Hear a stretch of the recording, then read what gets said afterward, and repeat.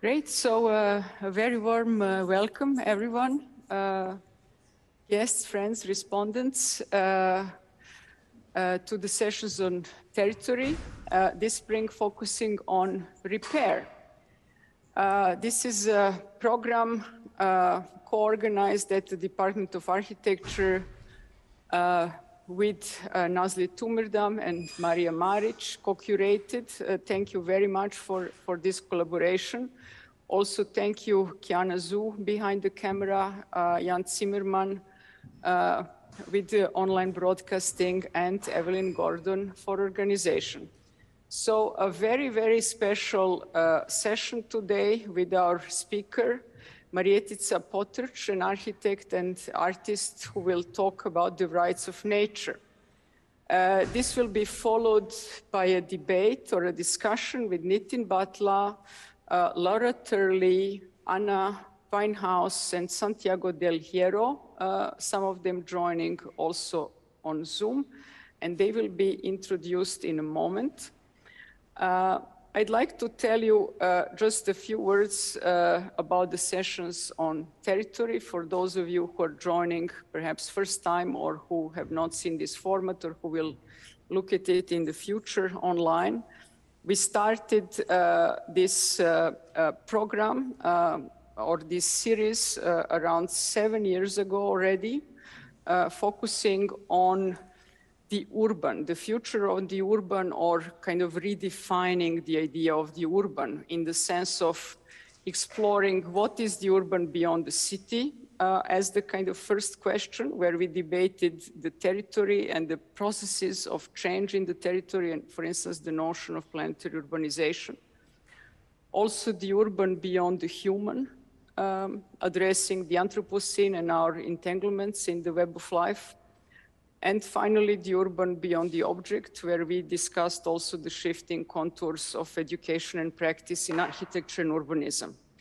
Uh, each iteration of the sessions explored the different and urgent perspective, as you can, uh, as you can see uh, uh in, these, in these posters. Uh, so the, the sessions this spring are part of a project, The Great Repair, Politics of a Repair Society, uh, which is a collaboration between ArchPlus, the Academy of the Arts in Berlin, University of Luxembourg, and uh, our team here at ETH. Uh, in February, we launched uh, the issue of ArchPlus here in this auditorium, and we are working toward an exhibition in Berlin uh, at the Academy of the Arts in October. Uh, for the sessions this spring, we are uh, welcoming um, uh, five uh, uh, contributors to the Great Repair. There are many more, but in order to, to open up and address together a few critical questions that are part of this project. for example, what is the repair ethos and how is it being translated into practice? Uh, what does repair mean in the context of our material culture?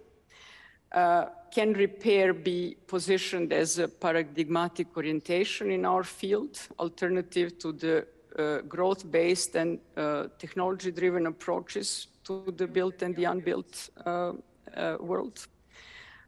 also, how do we conceive the notion of self-repair in our discipline? Uh, uh, how are we repairing the construction industry, the architectural office, finally uh, the curriculum, so the kind of um, the, this kind of um, uh, crucial sites, let's say, of, of uh, production of space and production of knowledge in architecture. Um, so uh, in this context, it is a huge pleasure to welcome Marjetica Potrč, a world-renowned artist and architect currently based in Ljubljana, her multidisciplinary practice merges art, architecture, ecology, and anthropology. From 2011 to 2018, she was professor of social practice at the University of Fine Arts in Hamburg. Her work emphasizes individual and community empowerment, problem-solving tools and strategies for the future that transcend neoliberal agreement. The recent project uh, at the 23rd Biennale of Sydney, uh, where she collaborated with uh, Wiradjuri elder Ray Woods focused on the rights of nature. Um, Marjetica will talk indeed about the rights of nature, in particular two rivers, Soča in Slovenia and Lachlan River in Australia, which have been recognized by law as subjects or legal subjects or legal persons comparable to human beings. Marjetica um, um, uh, will uh, present this work in the context of a shifting attitude toward nature in contemporary culture. So let's say a hypothesis of, uh, of a shift from society of owners to a society of caretakers. Um, looking very much forward to, to that debate. And after uh, Marjetica's intervention, uh, we will have with us four respondents. Um, uh, Laura Turley, who is part of Geneva Water Hub, working at the Science Policy Interface. She's completing her PhD at the University of Geneva on water allocation and infrastructure and previously she worked as a policy advisor with the International Institute for Sustainable Development. Uh, Laura is familiar with the, uh, uh, uh Uh, uh, uh, let's say, legal uh, problematic of, uh, of the recognizing the rights of nature. Then we will have with us on Zoom Anna Wienhues, who is a moral and political philosopher, currently holding a position of postdoctoral researcher at the University of Oslo. Her research focuses on themes in environmental ethics, such as biocentric perspectives on moral standing and concepts such as natural otherness and biodiversity. She is also interested in green political theory. Uh, further with us, uh, Nitin Bathla, a lecturer and postdoctoral researcher, uh, uh also coordinator of the doctoral program. Uh, you know Nitin very well, of course. Uh, his work uh, focuses on urban studies, political ecology, and sociology. He lectures in these, in these fields. Uh, and finally, Santiago Del Hierro, also joining remotely, uh, uh, Ecuadorian architect and urbanist, now a doctoral fellow at our chair with the research focusing on expanded representation of indigenous territory in the northern Andean Amazon where he currently lives and conducts fieldwork, and he will be joining on Zoom after Marjetica's presentation. So uh, thank you very much uh, for joining today. Uh, Marjetica, uh, we're delighted to give you the floor and to hear you. Uh, we have also um, a similar audience in Zoom, uh, so let's say we are, we are in this kind of a hybrid auditorium today. Thank you very much for being here. It's a pleasure. Yeah.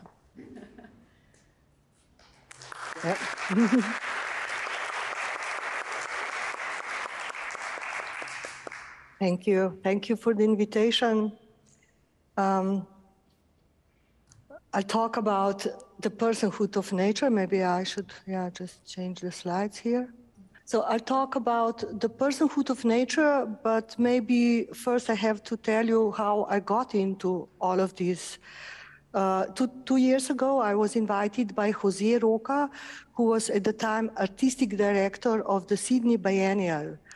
And uh, the Sydney Biennial the, um, uh, focused at the time on the state of rivers in late capitalism and environmental crisis.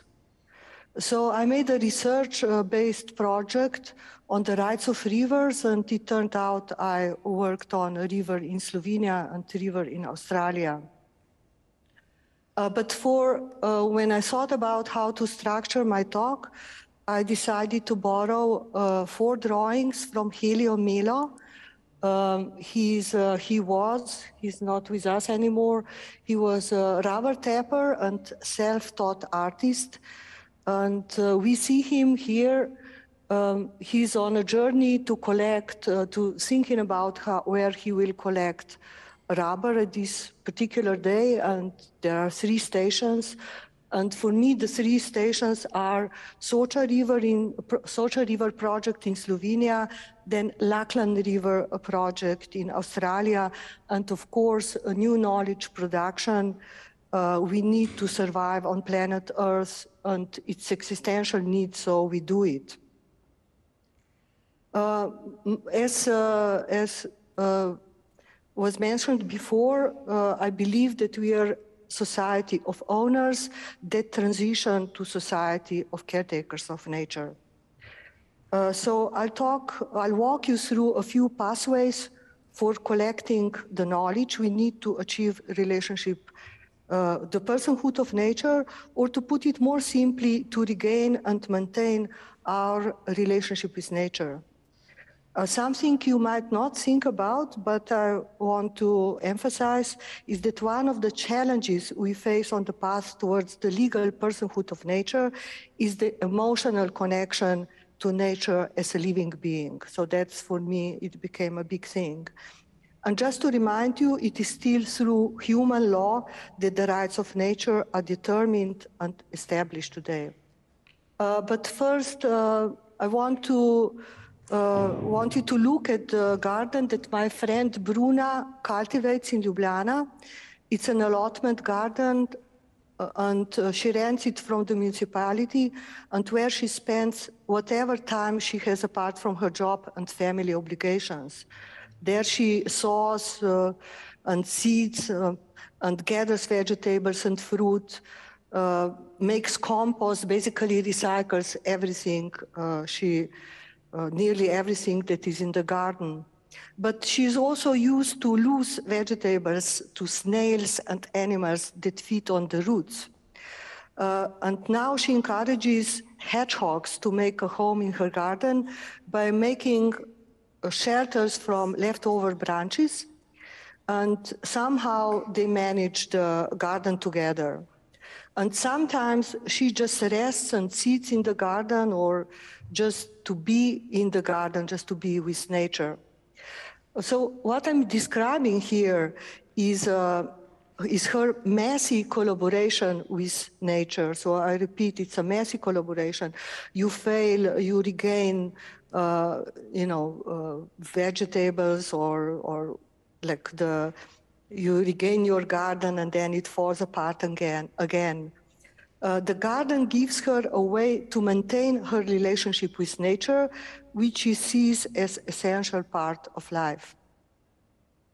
Uh, but this coexistence with nature she performs in her garden presents a major challenge for us as a society on a larger scale, on the scale of the planetary garden, if I can use uh, the expression by Gilles Clément, our planet Earth. So uh, again, a drawing of Helio Melo. We have a gardener and a garden working together. And you basically see two human beings. So one is a human being, the other is personification of nature. Uh, and they work together on their cutting a wooden log.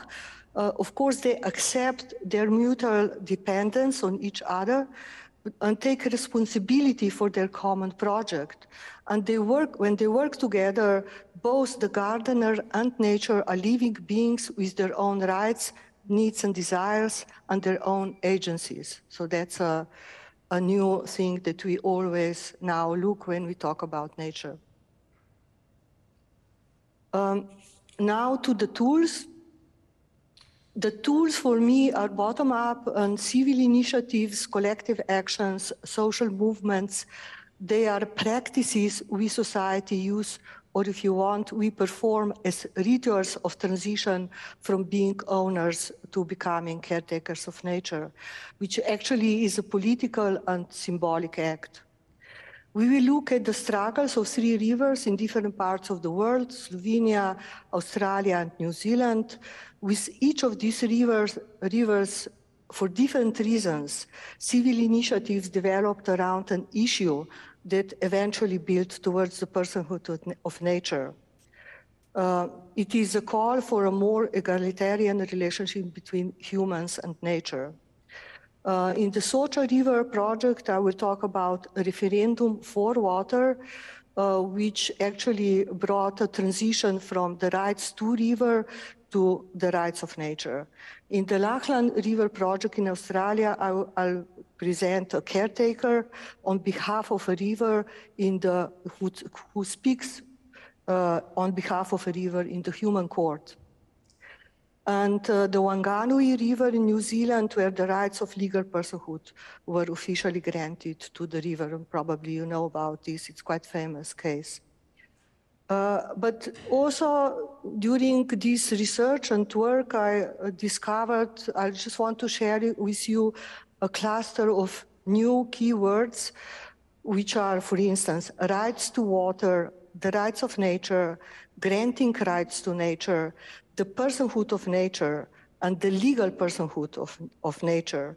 And finally, and perhaps most fundamentally, we will point to an agreement with nature based on environmental justice, accepting the fact that nature is a subject with its own rights, just as humans are, and keeping in mind that Universal Declaration of Human Rights became a legal document only in 1948. Um, the Soča River, uh, for me, is the most beautiful river in Slovenia, uh, but it's also an endangered natural resource.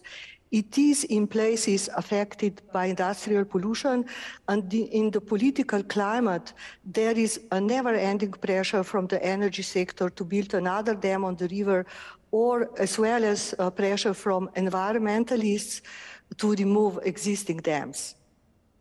Uh, and uh, there is, uh, we just discussed a little bit uh, with, uh, before the lecture, the fact that uh, Slovenia has this, nurtured this very celebrated idea that Slovenian identity is grounded in nature, in our mountains, forests, and rivers. Uh, so while rivers stand for the identity of Slovenians, if we put it this way, Slovenians in their turn speak for rivers, as was the case with referendum for water.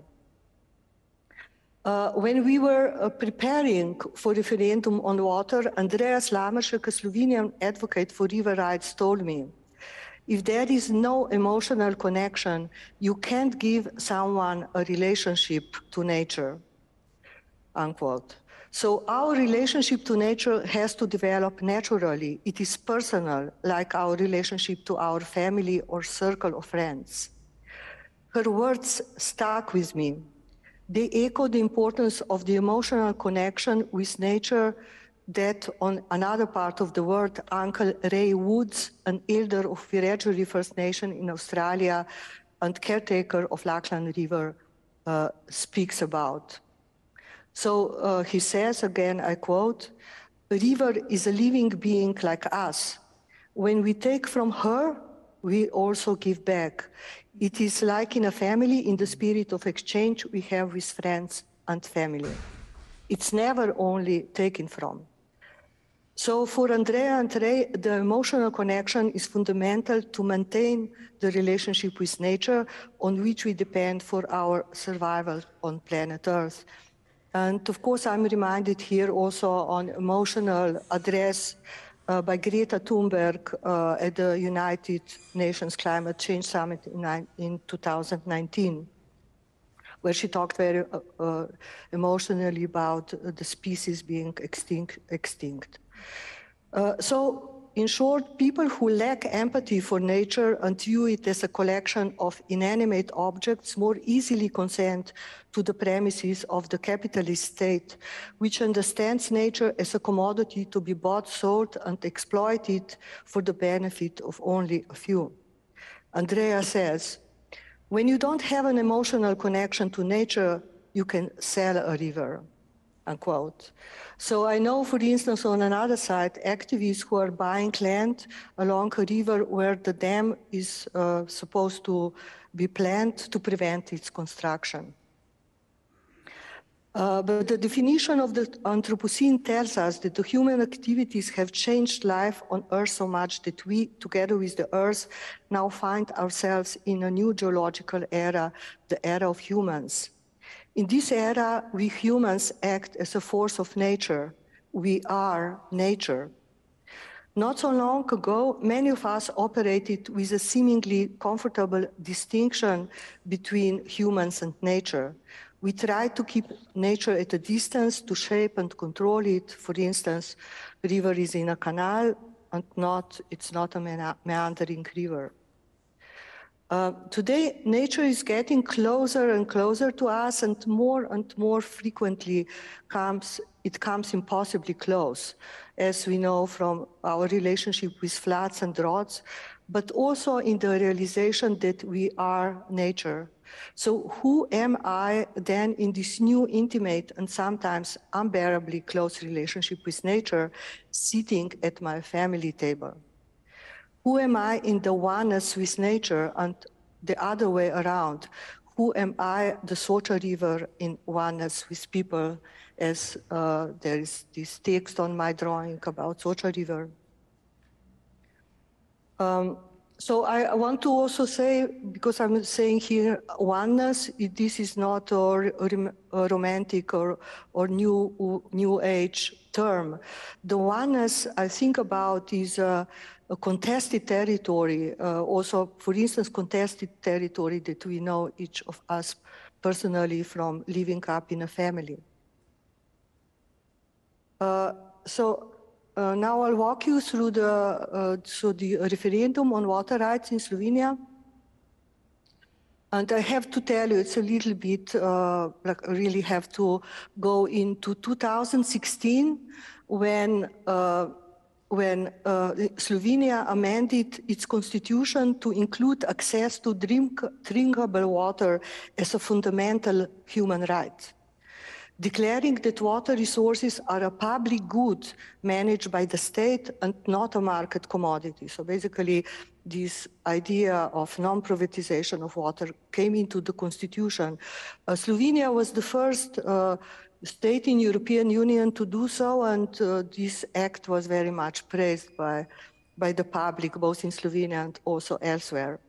But only five, five years later, in 2021, this right to water resource was uh, the, this right to water resource was threatened uh, because a law put forward by the government, uh, which was at the time right wing, and passed by the parliament without properly consulting the public, uh, would have changed water from a protected natural resource uh, to an endangered resource. So in June 2021, a civil society initiative called a referendum to revoke this law, which would have turned rivers and coastline into a market commodity, which was explicitly appointed in the constitution it shouldn't become. In a major win for this environmentalist movement, an overwhelming majority of uh, voted against the, the new law, uh, for instance, nine of 10 uh, people uh, or voters supported water protection. Uh, this for me is a hopeful outcome because here you, we see that concern for the environment clearly outweighed any ideological uh, differences. But then this was also interesting during the preparation for a referendum. We asked ourselves what it would mean when people cast their vote against the law and for the protection of water. Would they realize that they were casting their vote for rivers in partnership with nature?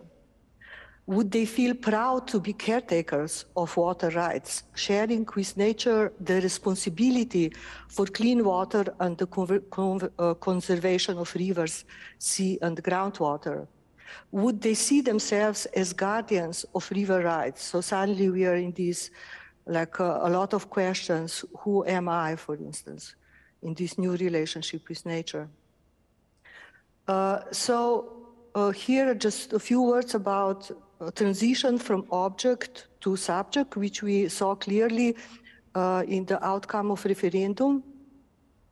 So the main decision you had to make when you cast your vote was whether you, a subject, viewed water as an object to be used or abused, as the property of humans, or instead viewed it as a subject with which you share the planet. In the latter case, water, the liquid, becomes a body, like the drawing on the right side, like the bodies we inhabit. A river is a living being, which means it is no less concerned about its living conditions that we humans are about ours. A river feels, it has desires and agency. For instance, it safeguards its body and environment for future generations. Of course, our life, uh, including humans. Uh, then transition from owners to caretakers. By voting for water, the majority of Slovenian voters declared themselves to be caretakers, not owners of nature. In the eyes of a caretaker, drinking water, groundwater, and rivers are a common good. It benefits human community and nature at the same time. The right to water then opened the way to rights of nature and, of course, a personhood of nature. Then, who am I? Here again. Another shift in thinking was the question I mentioned earlier who am I in this newly declared relationship with nature? We see in our communities an increasing awareness of environmental justice and the promise of environmental personhood as well, which is still very much a work in, pro uh, in progress, of course. At the same time, when I ask the question, who am I in this new role, welcoming nature into my family, I know that indigenous peoples have been hosting nature at their tables from the beginning of time. Uh, indigenous people are not separated from nature, but we are those that separated ourselves from nature. Who then uh, is a river as a person? What does a river want? Can a river own, my, own itself? Can we own the river as a person? The answer to this last question is simple. We cannot. We are not the owners of our parents and friends. I cannot own my child. I can be his caretaker. Of course, the same goes for the rivers. I can only be the river's caretaker. So uh, now I'll show you uh, four drawings uh, from the uh, visual essay, which I showed at the Sydney Biennial, which is called Rights of a River. And uh, we will walk through quotes which I saw on a poster calling for the referendum. The first one is water is neither uh, left nor right. This is resolution number one. Uh, the referendum sought to reclaim Slovenia as a single territory that transcends ideological divides. This means the return of the community. So suddenly we had this return of the community instead of having two uh, very uh, like uh, distinct and different political bodies. Uh, then the second quote from the poster goes, Water belongs to no one, it is everyone's. And here we have a return of the commons. Uh, the community is united in the understanding that water is a common good and that when it is mismanaged, it becomes a common misfortune. So these the, the commons come in. Uh, but also the referendum was an act of citizens' resistance against the intertwined interests of capital and the state. People were demanding environmental justice, the right of water, in the spirit of other contemporary struggles of uh, struggles for equality. More particularly, the referendum sought to reclaim territory as the commons. So Slovenia is a com commons territory. Uh, the underlying concept was to restore community through a reciprocal goods exchange, where goods are collectively deposited and equitably distributed. Dis dis distributed. For instance, we plant trees and forest gives us air to breathe. Uh, so basically, this reciprocal goods exchange is an ancient system of barter uh, exchange, but here it's this time it's a barter exchange with nature. The return of the future and the return of collective ownership. So I read again, water is our right. It is our duty to safeguard water for future generations. So basically we are talking here about the return of the future. By means of referendum, Slovenia decoupled itself from extractive capitalism, which thinks only in short term. We voted for post-ideological future and long-term uh, changes. What the voters understood was precisely this water is shared with other beings, animals and plants, soil and rocks, people and land. People then are caretakers of rivers and guardians of the river's rights. And uh, this is the return of collective ownership. But now I also want to uh, quote uh, Senka Sivkovic-Vrbica, a Slovenian environmental lawyer. I heard her speak on an interview she had um, on live online during uh, the Crater project. It was last year. And she says, she talks about the relationship, uh, human relationship with nature. And she says, we must protect nature now when there is still time. Those who own land must become her caretakers and guardians. It makes no sense that people own small slices of the earth. Owners see their property to be used, abused, and exploited. Caretakers see the land as a living being. Just as in the past, the law granted human rights to humans, so now it, will, it must grant to nature the rights of nature. Um, so now I transition to the Lachlan River project in New South Wales in Australia where I collaborated with Ray Woods. Uh, he's an elder of the Wiradjuri First Nation, and uh, together with Wiradjuri people, uh, he's a caretaker of Lachlan River. Uh, we made a collaborative project to raise awareness about the dangers of the government's plan to enlarge the Wyangala Dam situated in the middle of the river and uh, the dam would have threatened life on the lower of the on the lower part of the river, lakes, wetlands, plants, animals, and people. Our collaborative work, which was part of a collective action, uh, played a role in the successful cancellation of the enlargement of the dam. So we both understood ourselves as being uh, somehow uh, talking uh, for the river, for the rights of the river, and against the enlargement of the dam. But I just also want to say a few words about uh, the Lachlan River ecology, which is very unique. It doesn't flow into the sea, but rather it ends in a wetland. And the river lives in cycles. They call the, the locals call it wet and dry world. Approximately every five years, uh, the river ceases to flow, and then drought and fires follow. And every seven years, the river floods uh, the surrounding land and creates la lakes like the one you see here. Uh, the text on the right, uh, you see it's the first page of the transcript of Ray's appearance before a committee of the Parliament of New South Wales, where he presented arguments against an, the enlargement of Wyangala Dam and where I'm speaking all the time about this, where he speaks for the river. Uh, what stands out is the claim he makes in his second argument the traditional owners, I quote, speak with leg legitimate cultural authority for their nation, unquote. Here, the traditional owners are caretakers of the river, and I want to stress the importance of this shift in contemporary, contemporary culture in Slovenia, Australia, and all around the world, uh, where actually we are coming closer uh, to shift from owners to becoming caretakers, and it's somehow already embedded in the contemporary culture. Can I, a caretaker of a river, claim a cultural authority on the path to this uh, the nature as a as a personality.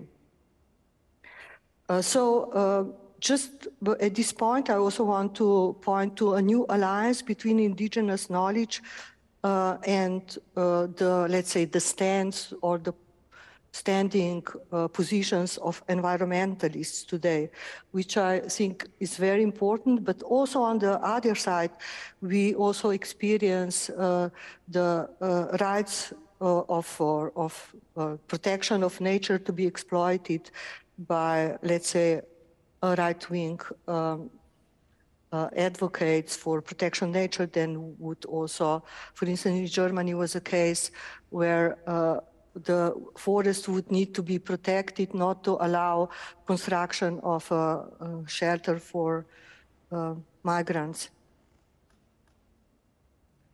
Uh, so in here, uh, the trees tell us they are thirsty. We speak for them because the other living world does not have human language. In my drawing, which is titled The Life of the Lachlan River, which I also showed at the Biennale, the challenges and fears posed by the enlargement of the dam are told through the voices of the living world on the river, uh, including a black swan, a tree, the river itself, Mother Nature, the Wiradjuri people, and settlers. But here we see a tree. The tree says simply that it is thirsty. A red box tree can survive without water for up to seven years, but after that, it will die. So the, the drawing on the right, I quote from Ray Woods, who speaks for the thirsty tree, and as we saw before, into the parliament and also at the same time to settlers. Uh, so I quote in his words, we are the people of the Wiradjuri First Nation. We are the people of the rivers. We look to see. We listen to hear. The thirsty country needs to drink. We hear her. The trees tell us they are thirsty. We hear them. We speak with, their, with other living beings because the other living world does not have human language. We are the caretakers of the country.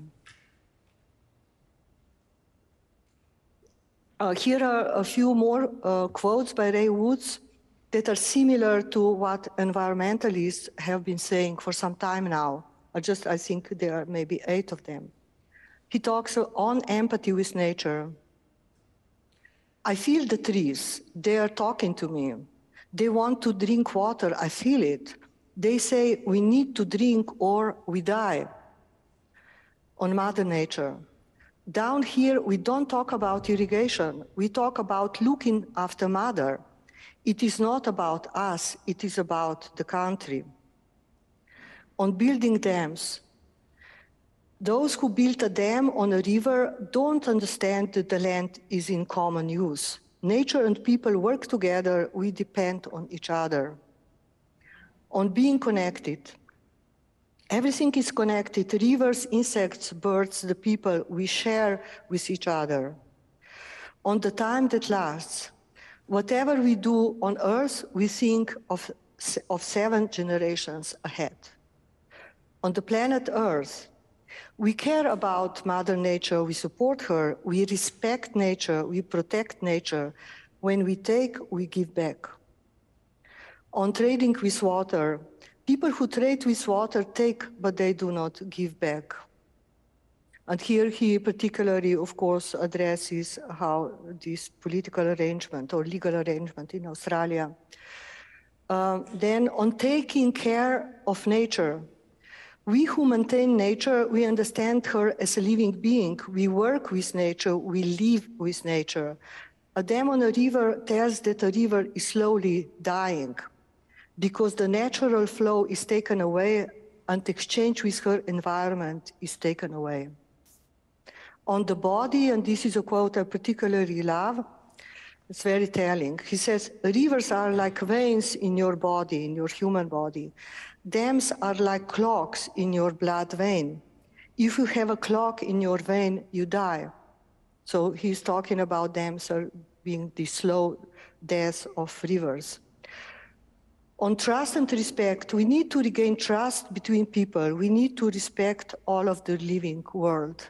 So he, all the time he was talking, we uh, talked many times on Zoom.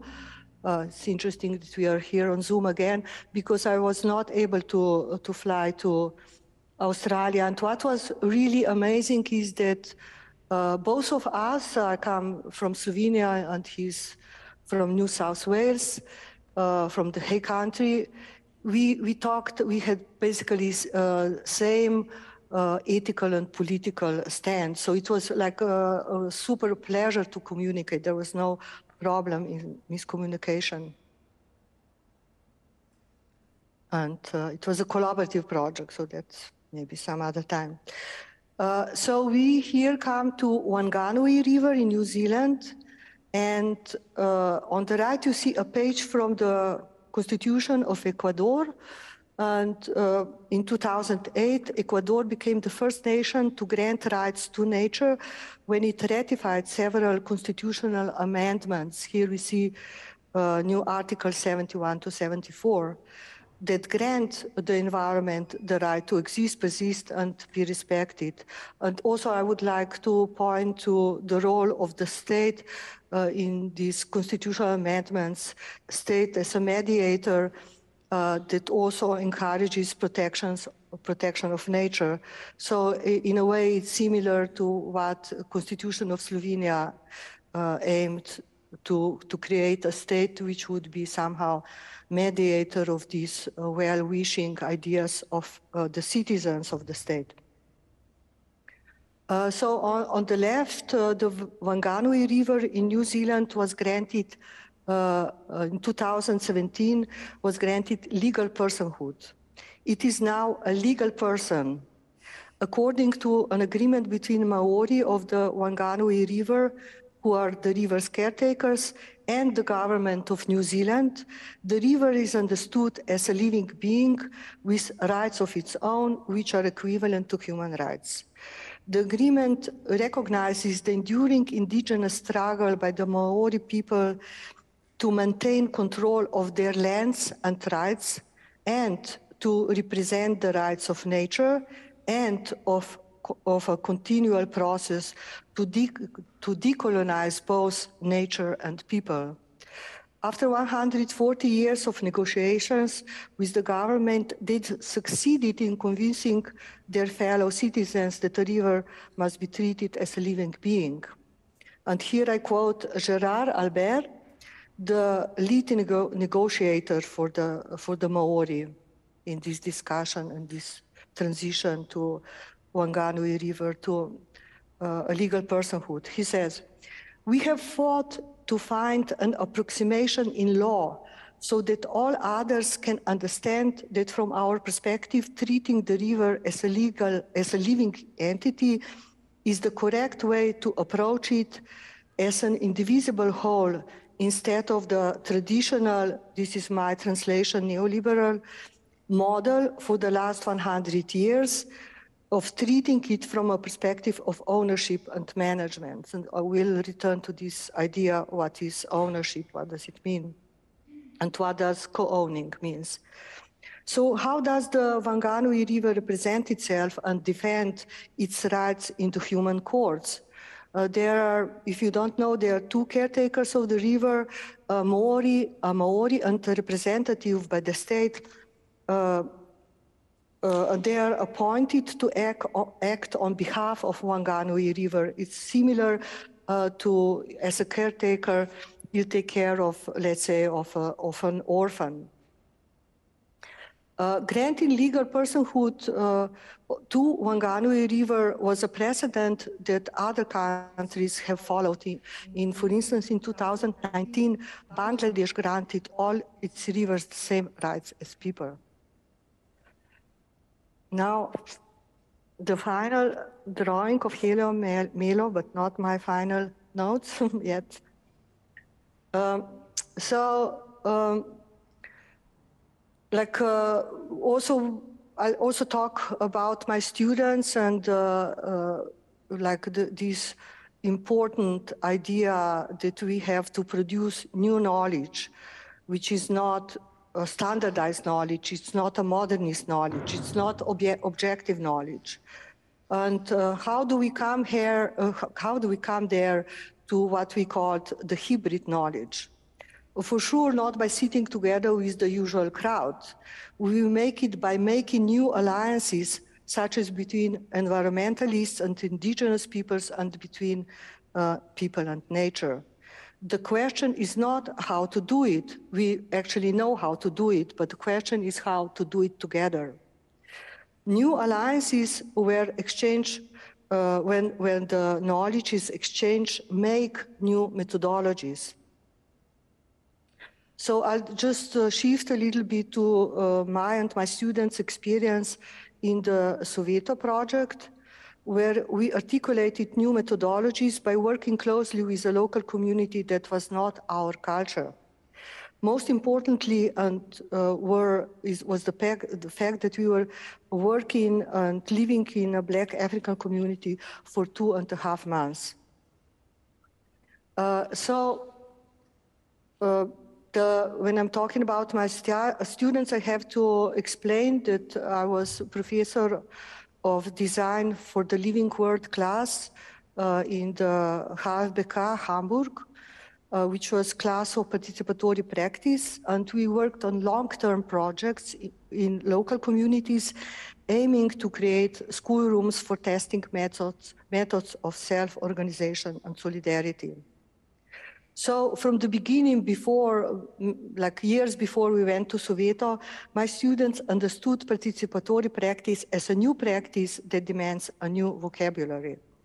We were seeking uh, an operational knowledge that would stand apart from the standardized knowledge of the modernist discourse and be able to respond to the challenges of 21st century.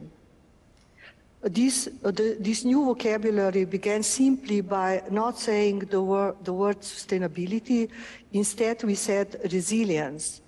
Instead of saying unused space, we said available space. The focus of the class was always on people, not on objects or spatial designs. But it was during the Soweto project where uh, we work, where by working together, the students and the local residents transformed a derelict public space into a self-organized and maintained public space. So it was during the Soweto project that we articulated certain key methods uh, which of course are, as I'm repeating now forever, not standardized knowledge, uh, including uh, the, we used uh, the words like relational methods like relational objects and performative action. Uh, for instance, uh, a, a, performance platform, we built an organization of the Soweto Street Festival that we built together with the community. Then also very important keyword is rituals of transition, placemaking and naming the methods we came up with during the Soweto project explicitly addressed demodernization and decolonization. But of course, at the time, we were not thinking about these big concepts, concepts of demodernization de and uh, decolonization. We just realized it much later. So uh, just three years ago, uh, that's my last slide, when I uh, traveled in Australia, a friend alerted me to the book Decolonizing Methodologies by Linda Tuhiwai Smith, which, uh, who was a professor of indigenous education in New Zealand, and of course also from uh, Maori uh, First Nation. I was surprised to read in this book a list of methods that were similar to what my students had developed in the Soweto project. Now, this is interesting. Indigenous Maori communities use these methods to shield or to protect themselves from the neoliberal social and economic agreement, as well as from the consequences of colonization. It struck, me med, uh, it struck me that the Maori and my students, using similar methods, found themselves together in the process of decolonization and demodernization, which I call a new partnership in knowledge exchange. Uh, on another side, also a new partnership in knowledge exchange is knowledge which is produced by indigenous and environmentalists when they actually try to merge together and uh, for this knowledge foregrounds values that address our relationship with nature. So it's not, uh, they are not against, uh, against like uh, this, against neoliberalism. They are uh, producing a new, uh, like new way of doing things, new focus. The modern era, which we associate with industrialization, um, colonization and globalization suppressed indigenous populations and overlooked their knowledge. Uh, and now when, we, when now when the knowledge is needed, we lean towards it. And I was just reminded when I was putting together this talk about the term, which probably you know, it's gray literature. And uh, a project from several years ago, which was launched by UNESCO, was actually to look for how to work with bees uh, which was different than the academic knowledge. So uh, the knowledge which was contributed to this initiative included uh, like indigenous, but also uh, people from, let's say, from the town of Zurich. So it was very much uh, opening the, the knowledge field uh, away or maybe moving it away from the, Uh, from the academic position. Uh, so my students viewed the creation of hybrid knowledge as an existential exercise in the world in which they live. And here is a paradox. The modern era in which they were born, with its ideology of, ideology of progress, was trying to bring us closer to a better society, a better world, if you want. But this has in fact brought us closer to the extinction, the extinction of species and of nature. And since we are living in the Anthropocene age, we realize that we too can face extinction as we are nature. The Maori of the Whanganui River have a saying, I'm the river and the river is me. For them, granting rights to nature means a political rearrangement of values that parallels granting rights to indigenous people. So this is, of course, a call for social and environmental justice in the same breath. Um, maybe I just skip over some of these. Uh, like I was also trying to understand uh, basically a triangle between uh, the state, the society, and uh, capital. So if you think about a triangle and the state is here, uh, society is here, and on the top it's a, capital, then uh, now we are in this time when we are saying this uh, partnership between the state and the capital is passé.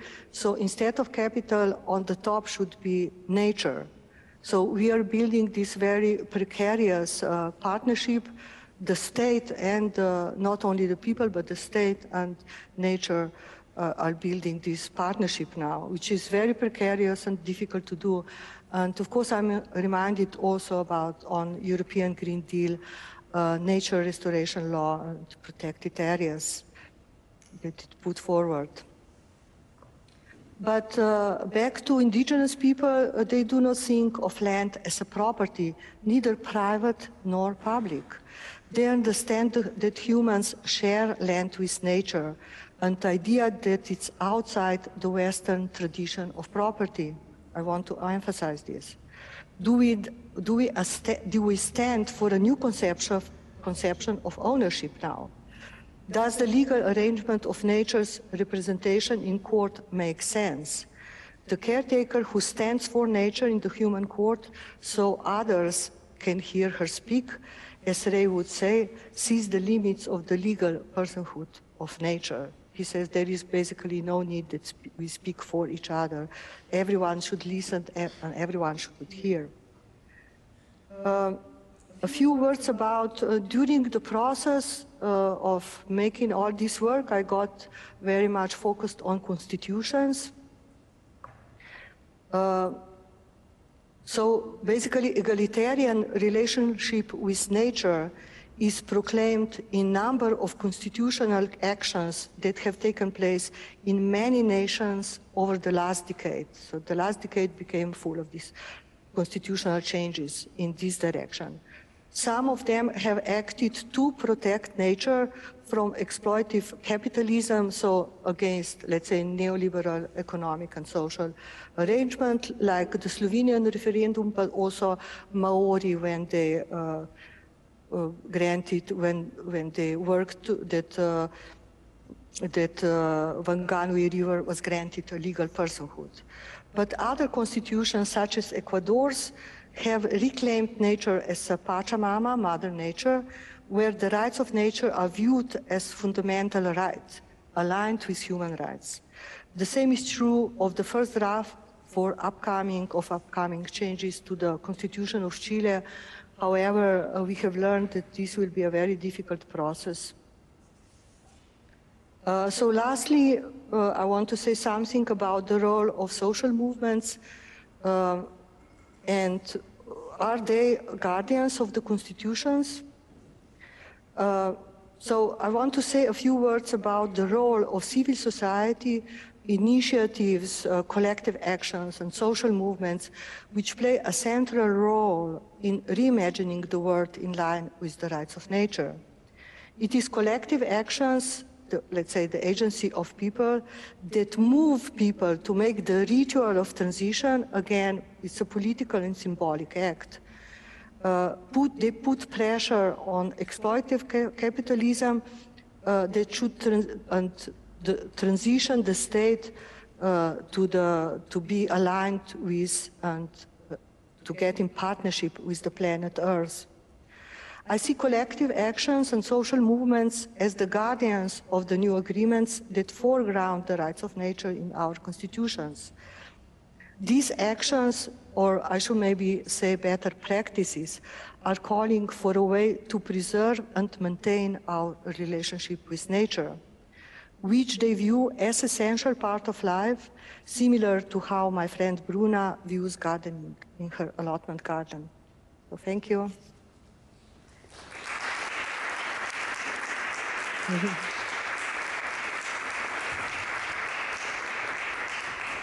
We will start uh, perhaps with, um, uh, with the round uh, of um, um, let's say, questions or, or uh, observations or reflections from respondents. And uh, uh, let's say, just to, to kind of help everybody maybe um, transition to the debate, I will just start with one kind of more personal question, if that's okay. So I was wondering uh, about that uh, referendum in Slovenia and how uh, let's say, extraordinary uh, that case is uh, considering, for example, that uh, we spoke about it yesterday, that in Switzerland at that same moment, basically in June 21, there was uh, this famous uh, pesticide initiative and the Trinkwasser initiative, which, which basically failed on a public vote. So people in fact, did not support uh, um, um, um, uh, let's say, the measures that would uh, um, um, uh, prevent, uh, let's say, further, uh, basically, pollution in, in, that, in that case. And I was wondering, how, how, do you how do you explain? I mean, you mentioned identity. Is there perhaps a, a relationship also to um, uh, to the to the socialist experience, to the Yugoslav experience, to the idea of self-management? Uh, I'm a, wondering whether whether that uh, that uh, played a role at any level. Um, I can say that, thank you, this is a super interesting question. So I can say that uh, the reaction for people to vote in such large numbers to protect water was based, actually, it was action against uh, the right-wing government that produced the law. Uh, and of course, they, then the people talked for, for, the, for nature in the referendum. Uh, and uh, regarding the self-management, we were part, uh, and I were part of ex-Yugoslavia, and we discussed this very uh, difficult uh, transition that we, the, all the states of ex-Yugoslavia experienced by moving uh, from, let's say, socialist uh, regime towards neoliberal reality, and basically they dropped uh, many of the, the gains that they uh, built up together during the socialist times. Uh, so uh, actually, I'm not sure, but uh, about this particular case, I, I, never thought about it. Uh, but yes, it can be true that people thought, in positive way about self-management. But it's not necessary because self-management was also some kind of a trauma for a lot of the states in ex-Yugoslavia. Mm-hmm. So perhaps in this particular case, it helped to, it was a positive interpretation of self-management. Yes. So the power of people to, to cast their votes and to be heard. Uh, great. So I'm uh, I'm wondering, uh, uh perhaps, if it's okay. I'm I'm seeing uh, Santiago right right now up there on the screen, and since we we had uh, Santiago, do you hear us? Yes. great. Well. Um, I'm wondering if you if you want to jump in and, and maybe tell tell something about how do you how do you see uh, these proposals by Marjetica from the perspective of your work and also your you're Ecuadorian and of course you are familiar with that case of uh, of uh, of nature being enshrined in the Ecuadorian constitution. Uh, thank you, Milica, and uh, thank you, Marjetica, for, an, for a great presentation. Uh, many of the topics that you touched, uh, that you talked about, uh, are very close to, to to what I'm looking at and to how things are going on here in in, in Ecuador and then specifically in the Colombian Amazon where I am. Um, and one, I, I have uh, three things that come to my mind from your presentation that I, I would maybe li like to expand on, to, ha- to ask you for, for to expand. The first one is about uh, ownership, this this movement, this transition from ownership to caretaking. I think this is something that we have been speaking a lot here with some indigenous leaders, in the sense that ownership seems to still be the main way of protecting. And uh, you protect what you own. And therefore, when indigenous people, in this case the Inga, uh, own a, res a reservation, a piece of land, then they are entitled to protect it and the state recognizes that space of land, therefore indigenous people can protect it. But everything that is outside is not a responsibility of, there is no responsibility to protect. And that for me has been, is quite problematic because there are several, for example, there are several sites, rivers, sacred spaces, mountains that are very important for indigenous people that are outside of the boundaries of the spaces they quote unquote own through reservations. And so this, this transition of from ownership to caretaking moves us to the fact that maybe we can start taking care of the land that is owned by others. Mm-hmm. Uh, how could, for example, we look at the ownership of land and how could the constitution through the rights of nature, for example, help indigenous people take care of a space they don't own? Um, and so this this uh, this this has been quite a debate because in many cases, for example, sacred space, sacred places, uh, the only way to take care of them is if the owner, the colonist owner, is sort of either kicked out or bought from. Um, and this brings me to the second point, which is that sometimes I feel when from abroad, when especially when we're talking about indigenous people, we talk about them from a very um, romantic perspective. And, and my experience here is very much uh, messy, as you, as you mentioned, the, the messy dealing with, with nature. It's also, it's a messy reality in which there's a, there's a strong gradient between within indigenous people of how they see nature. And there are strong debates on how much uh, Western development can, take can take place within indigenous uh, narratives.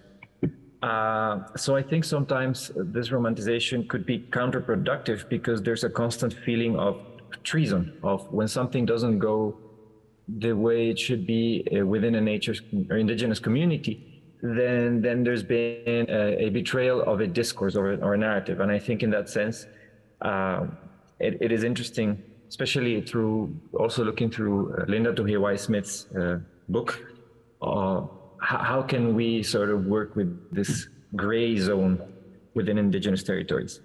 which moves me to the third point, which I, I think you mentioned the word transition several times, and I, I completely agree that uh, the biggest challenge is not necessarily knowing where we want to be at or where we want to arrive or achieve, because I think many have that clear. We need to arrive to a world which is resilient and which already had, is out of, for example, resource extraction, uh, violent resource extraction. The, the thing is how to get there. What is the transition? Because in many cases, and this is co connecting to the 2008 constitution in Ecuador, the constitution is great, but 15 years later, we have seen in Ecuador that uh, change, has, change has been too slow and the constitution does not provide tools. People still, we still, the, the Ecuadorian economy still depends on oil extraction. And ironically, when the constitution was drafted, uh, it was done when the price of oil was extremely high. So we had this discourse in Ecuador of using oil or transitioning to clean energy. Uh, there's a there's a strong uh, irony in this. Uh, now that the, the, the oil prices went low in 2014 and 15, then uh, then there was no uh, economy to transition to clean energy. So we're just stuck to extracting oil and using it for basic needs. So designing the transition more than designing the place we want to achieve or we want to arrive to is uh, very interesting in connection to the last slides you presented on, on hybrid knowledge, on figuring out how to get there more than figuring out where we want to be. Uh, so it's many topics that I think you, made me think about, and I'm very thankful of um, of how how you're portraying this and how, seeing how the Slovenian case, the Australian case, and the New Zealand case are totally connected to what we're seeing here in Latin America. So thank, thank you for that. Thank you. Like, uh, thank you so much. Uh, Santiago, first of all, I, I, just want to say something about uh, these, uh, the, I, said before that the idea of property uh, is in indigenous knowledge, not uh, like understood as public or private property. So are we then Are we, can we take care of other people's property? So basically we are ta talking about expanding ownership, not only within our communities, but also uh, what is very difficult between uh, people and nature. I think that uh, this co-ownership becomes very important. And uh, we who are, uh, who have ever been point of uh, community-based projects, we understand the that uh, co-owning uh, and caring of the common land works very well, uh, specifically on, on small scale, like community gardens are uh, excellent example, but it becomes more difficult on a larger scale. And especially uh, the role of the state, it's very contested uh, because it's have been aligned for such a long time uh, with capital, and now it needs to build a new relationship with nature. And as I said before, a European Green Deal uh, tries to, to work on that. Mm -hmm. um, but then also what I experienced in uh, my uh, like uh, work with my students is that we urgently we need new knowledge. And uh, the new, new knowledge comes from the practices that are different from the usual practices. And you can build new knowledges only if you are working in these practices. So these sort of case studies become very important. This is why the constitution of Ecuador is also uh, not only important, but super inspiring for uh, people who, who see their voice uh, going towards the the most important document of the state, which is the constitution. Uh, of course, it's a difficult transition, and uh, uh, I would say again that uh, new knowledge production is very important, and it should basically, in my view, replace the standardized knowledge. Because if you uh, reuse the old methods, you are just uh, reproducing the, the old knowledge. Um, maybe that's good. Maybe someone else has something to say? Uh, sure. I mean, uh, if I could invite you, uh, Laura, to, to join at this moment, because um, um, I think perhaps related to this process of, of transition, right? So to uh, you're uh, in the you're coming from Geneva Water Hub. You're um, um, um, in uh, UNESCO chair for hydropolitics. Uh, what kind of tools do we have, or, or should we have, let's say, in the in the legal field or or uh, governance tools that could that could unlock this transition? What what kind of debates are in your field? No, I was um, really pleased to hear about this series on repair, and then particularly this session on repair of our relationship with nature and with water.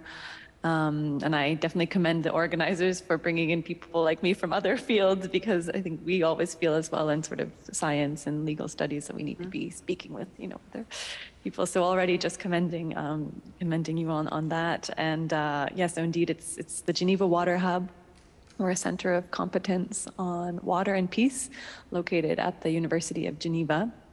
And so I'm not a, lawyer myself, but um, I'm a social scientist, and we study the legal frameworks uh, over water resources. So water governance is a big and growing field of, of study, as you can imagine. Uh, and I think maybe my comment, which maybe seems a little banal, but just to confirm maybe the importance of this subject you've chosen from our field as well. It is significant and it is innovative and it does add a very important new tool to the toolbox of what's what's possible in water management. And that's for a couple of reasons. I mean, first of all, it represents quite a, a true break from the past. Um, water governance tends to be a field where, um, for a number of reasons, we're really locked into certain ways of doing things.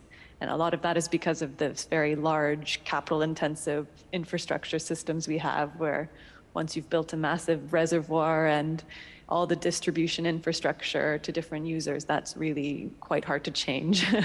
um, so, you know, politically, financially, et cetera.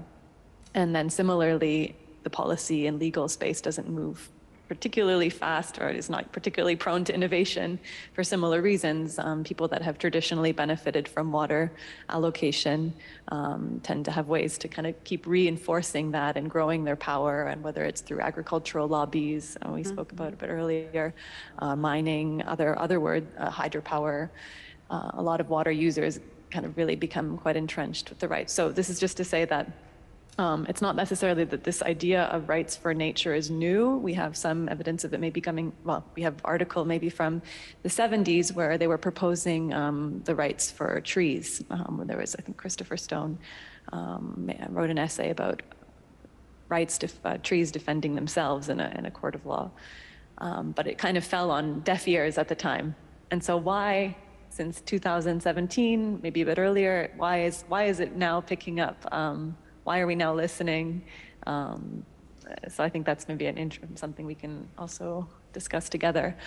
Uh, I mean, from I think there's some low-hanging fruit there in terms of it being obviously the urgency is there to better protect ecosystems, the degradation of, of water uh, water systems, um, climate change, and slowly seeing ourselves as part of you know nested in social ecological systems uh, slowly this change of mentality coming around and, and the need to restore uh, some sense of ecological justice. Um, it's also a new trend because it does represent a kind of a paradigm shift from very productionist, productivist, modernist views in water governance of using it again for inputs in all of our human ways um, to recognizing a more inherent, uh, intrinsic value of water uh, and in-stream flows. Um, and then, yeah, maybe to just say, uh, in terms of the legal frameworks, uh, indeed, water gov- like water policy and governance is this usually a state, human, or state collective relationship, right? So the state in most countries owns water resources mm. and grants users rights to use that resource. And so rights are actually quite broad. They can uh, contain a number of things from full ownership and the ability to exclude others, to just having a use right, um, to other combinations of management and decision making rights. Um, so we often call it a bundle of rights. In reality, it's not just one type of right, but uh, that's a human, that's a sort of a state human relationship. And um, and then indeed internationally it's a state-state relationship. But this idea of really the state to nature is is really is is is new and is is really important to take stock of and to take seriously, and to and to develop. Um, uh, and then maybe, yeah, just to say another, you know, why is it significant in our field as well is because it's not just an isolated case, you know, for whatever reason, all of a sudden this is really emerging in different parts of the world at more or less the same time, which makes it, um, you know, more of a, global trend to, to, to investigate. Uh, so I could list examples. I mean, we've already discussed a lot of them, but between the Whanganui and New Zealand, um, granting national uh, legal personhood to rivers, um, to the, the, Atrato River in Colombia, Lake Erie in the United States, um, following some pollution events. Uh, um, then indeed there have been indigenous councils and tribal councils that, that themselves have granted legal personhood to watercourses uh, in Canada, where I'm from, the Magpie River, and the Klamath River as well um, from a tribal council in the United States. So, you know, maybe I'll just stop for now. I have some other comments, mm-hmm. but just to say, you know, I think it's been, you know, a theme. It's, it's, it's innovation in a, in, a, in a field that isn't particularly prone to innovation. Mm-hmm. Yeah, I just uh, want to respond to this, the, the right for trees by Christopher Stone. I know about the book, but I didn't see it yet in my library. Uh, but to speak a bit louder, Maria. Uh huh. Yeah. Okay. I need to speak louder. Oh yeah. Uh, maybe. Uh, I think. anyway.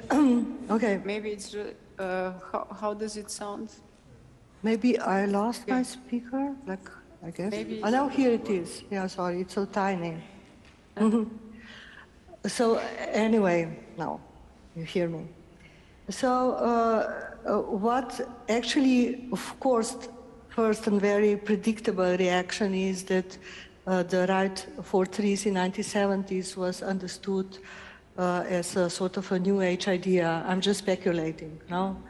But now it's a different time, uh, and just be, like between 1970s to now, uh, the public was really depoliticized. And uh, now the, the governments, they cannot uh, face these, the, the changes of uh, like uh, climate change and the decline of the social state. They cannot uh, repair everything themselves. They need more empowered citizens. So in, in what I think is very important that these uh, new initiatives popped up. Evidently, people are empowered to stand for nature in some way.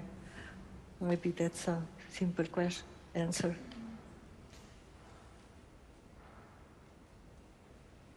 Um, maybe you would, um, it would be also nice to hear from Anna, our philosopher, uh, uh, from Norway, now joining us remotely. Uh, Anna, do you have also something to add or comment or ask to Marjetica? Can you hear us? Uh, yes, I can. Can you hear me? yes, we hear you. Uh, yeah, Marjetica, firstly, thank you very much for your very interesting talk. Uh, I very much enjoyed listening to you, um, especially because all of those themes um, and topics are coming up in so many different disciplines, also my discipline. So it's always nice to see how those things are thought from a different perspective. Um, I can't uh, see you at, anymore at this point, just to let you know. So I'm just speaking into the void. Um, so I have a couple of questions that I would like to ask you because there are a lot of things I could talk about and we don't, don't have the time. But I wanted to ask you firstly about uh, the idea of ownership again that Santiago already raised earlier, um, but a little bit from a different angle because I wanted to understand better um, how you see this issue. Because on the one side, at one point you were saying in your presentation that um, we, we, when we speak about a river, we cannot own this river. And you're, you're very right, I think, uh, with this perspective. But you also then again engage this idea of uh, collective ownership. Um, and also in terms of rivers, it's not that any one person owns the river, but we collectively, for instance, own it. And I was wondering how you bring those two themes together. Um, from my perspective, I would say that there are different perspectives in terms of the moral and the legal level going on there, maybe. Um, in terms of that, we might, morally speaking, never own the river. The river is something that, in essence, can't be owned. Um, it is not ours in a, in a moral sense, um, but we might collectively own it in a, in a legal sense. Um, in a sense, how our institutions consider it something that can't be owned by private capital, for instance. Um, as a second point, something that came to mind during your talk that um, I find quite interesting is that there's this um, parallel development to the rights of nature that tries to do a very similar thing because something about the rights of nature that it's trying to uh, do is take the system as we have it, which is not perfect, um, especially the legal system, which is based on ownership, which is based on individual rights and uh, property and so on. It comes from a specific cultural background and tries to address this globally and tries to fix the issues in it by trying to make it also more inclusive. So the rights of nature is a particular way of trying to address, for instance, indigenous worldviews within the legal system that we have. Um, and something that is parallel to that is this development of relational values that you also see in similar debates. Um, for instance, very prominent in the IPBES, so the International uh, Panel of um, Biodiversity and Ecosystem Services, in their recent value assessment, they were again, that came out, I think, just a couple of months ago. Um, they again kind of pressed this idea basically um, to um, to break up the dualism between um, this idea that nature either only has instrumental value as something that can be used um, or something that can be owned in that context or something that has, has intrinsic value as something that um, only matters in itself in irrespectively of our relationship to it and something that these relational values are trying to address. And that I think came up a lot of the times when you spoke about rivers and how people relate to rivers is that they are not just valuable just out there or something to use, but they are particularly valuable to because of the relationship people have with it. And this relationship is valuable in itself. Um, and I was wondering how the rights of nature movement and um, this development about relational values, how they interact, um, because the, the, the aim is very similar in terms of to carve out something about how most people see the world that is not necessarily hasn't been picked up in a lot of our common institutions or also in a lot of language that we have been using in, in, in moral contexts. Um, yeah, and maybe just as a last point, I was wondering how do you understand uh, personhood? So are, you are you talking about this kind of legal idea of personhood, or do you want to go broader? Because sometimes you speak about nature as a living being, so I guess you maybe have like an idea of Gaia in the background, and I wanted to hear more about that. Thank you. So, um, thank you for the questions. Um, I didn't hear, uh, it's like voice in this hall. It was a little bit difficult for me this time. Uh, but I want to say um, something about uh, collective ownership uh, because uh, we are talking about private and public, but now in the middle is this collective ownership, which includes the idea of co-owning.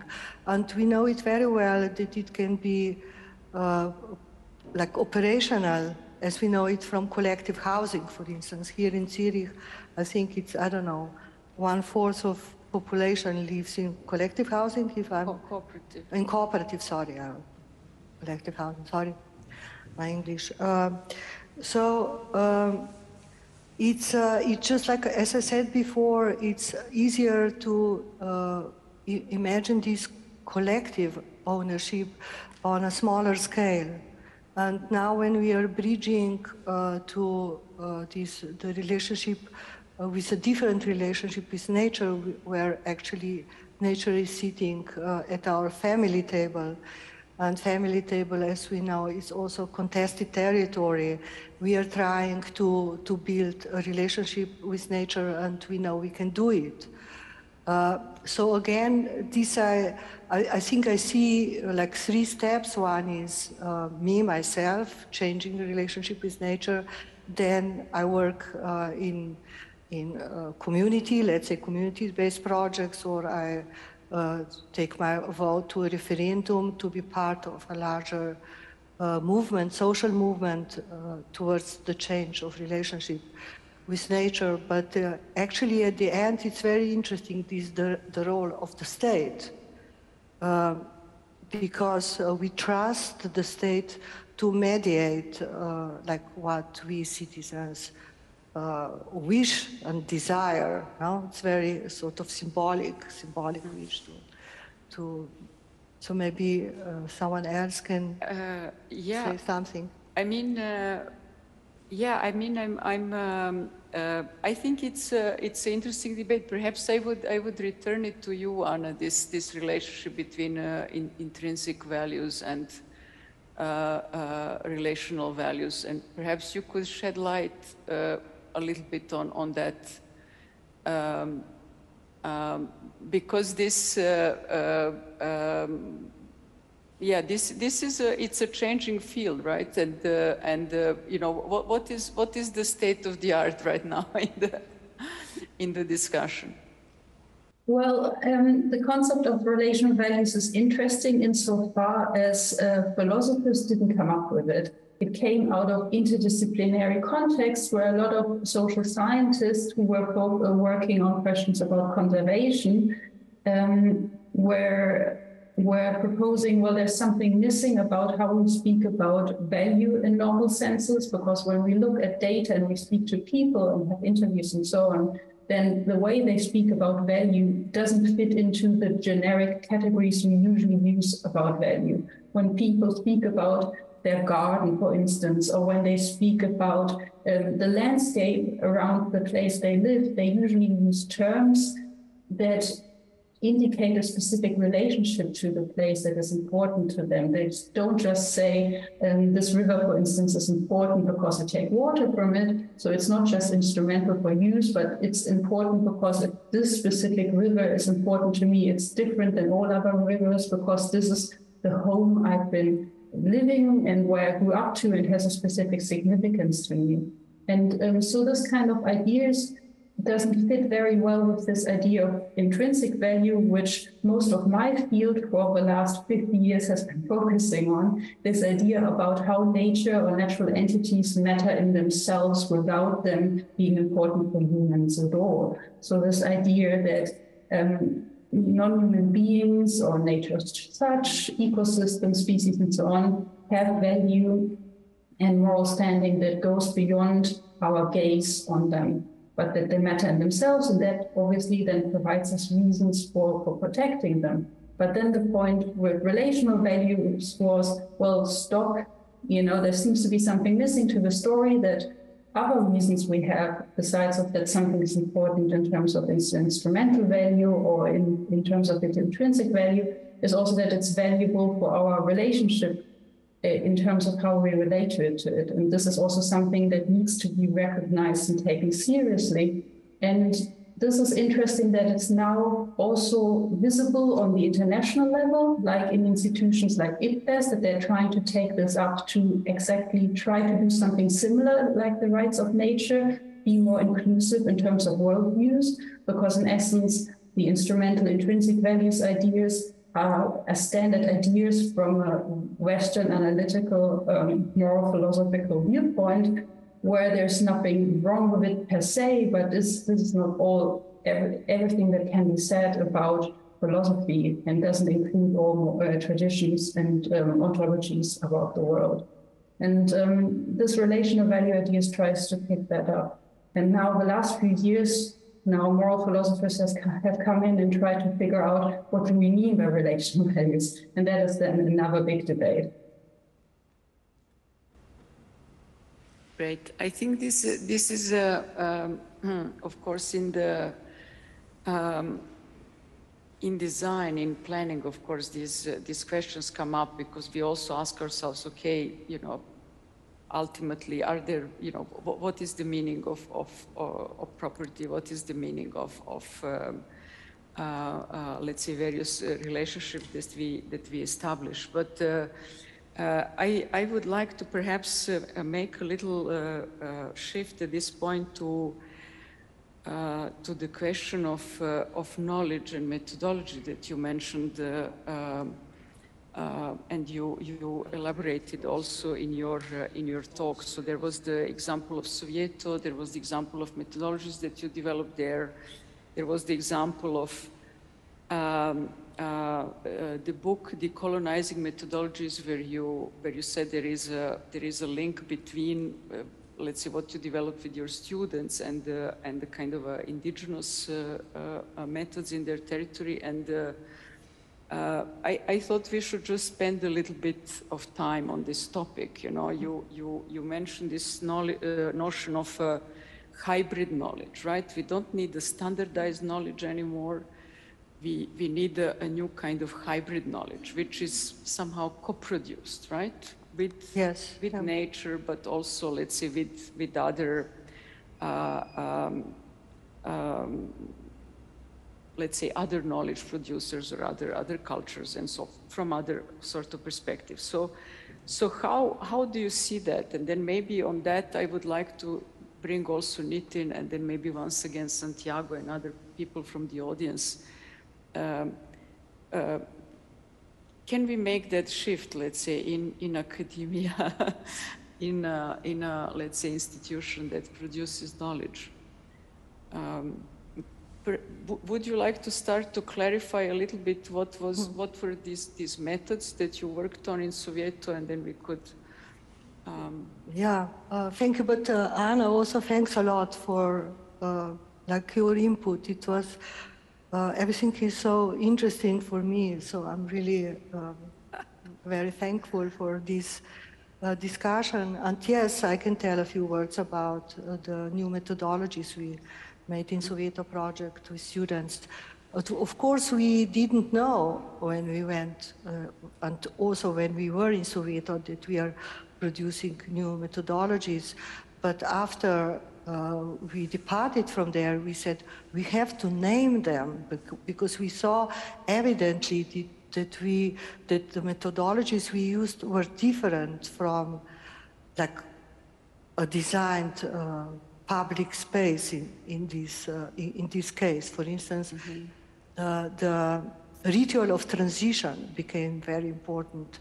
Uh, the participatory practice has four steps. I can say a first step is uh, before starting uh, a participatory project with a local community, you need to get informed. Then the second step is uh, to work on the concept or on the vision of the vision of the project mm-hmm. uh, together with the local community. Then you have to do it together.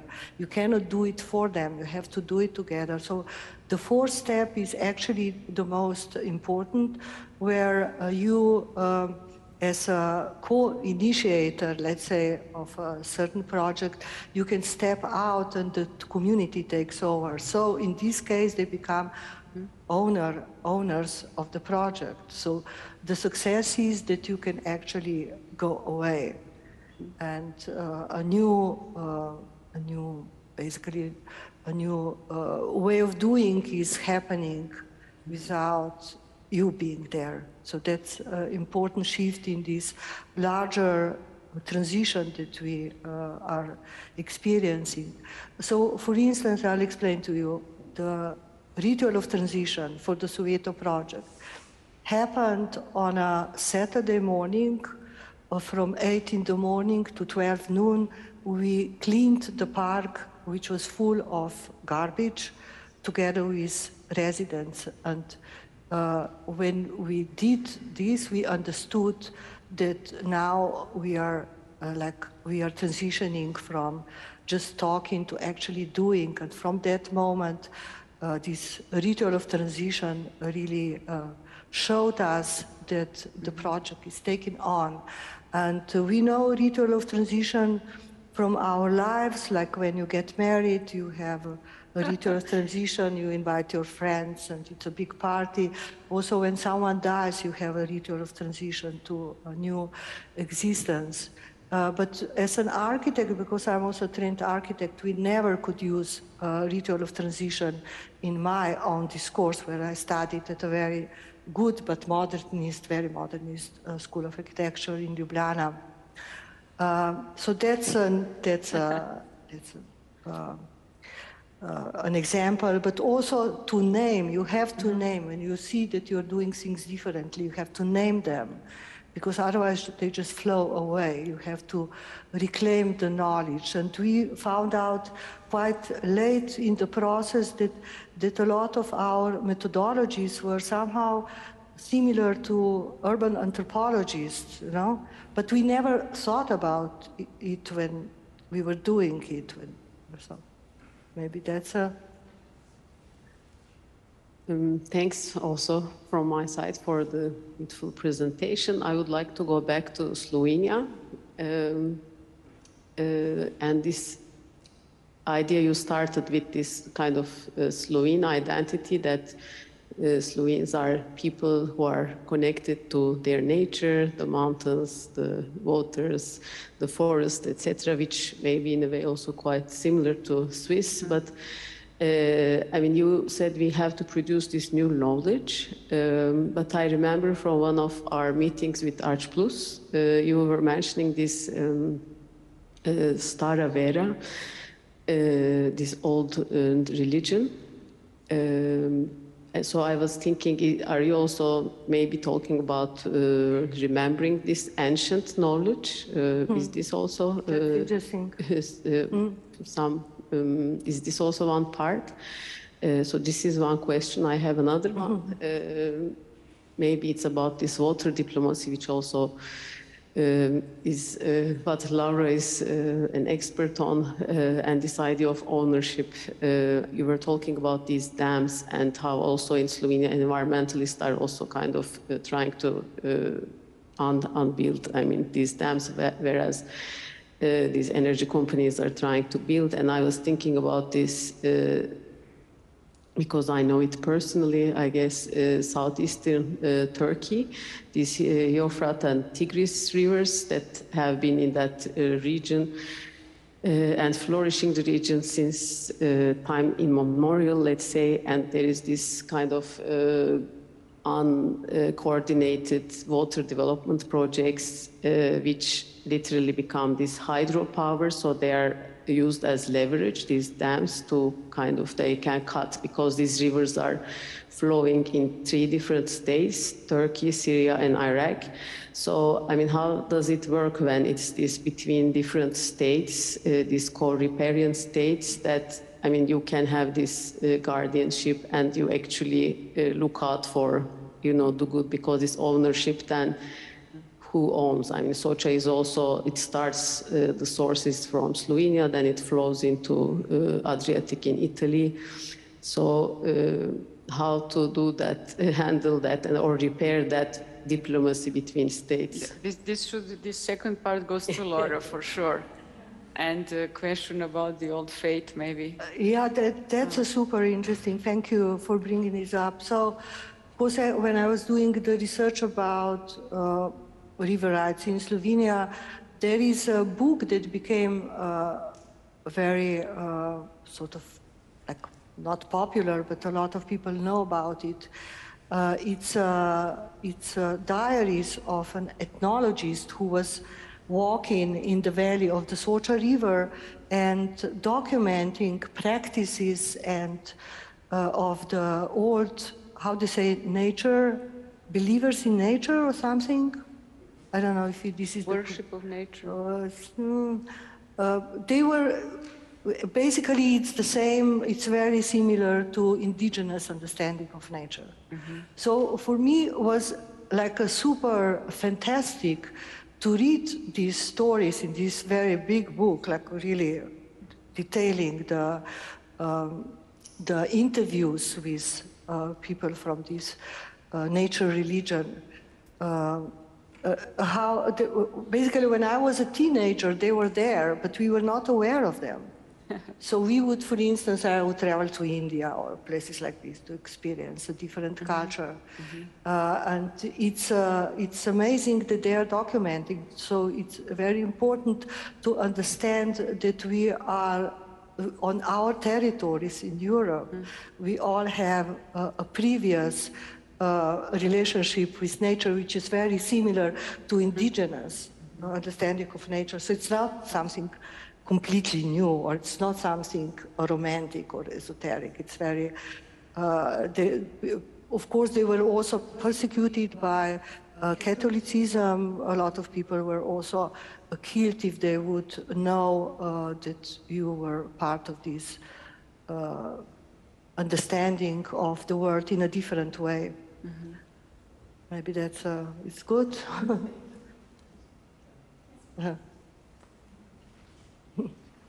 Thanks. Um, so I really enjoyed the presentation. Thanks a lot for that. Um, and I was um, just gleaning on the collective knowledge at our schools of landscape and urban studies in the Getea, um, where so many of our doctoral students are working on water and on uh, the more than human sort of r- socialization of water. Um, and many of them are here, uh, Johanna um, and uh, Tatiana and uh, Sarah Frikic and so many, so many of our PhD students. And uh, also the MAS students who I've been learning through a lot uh, while discussing their text.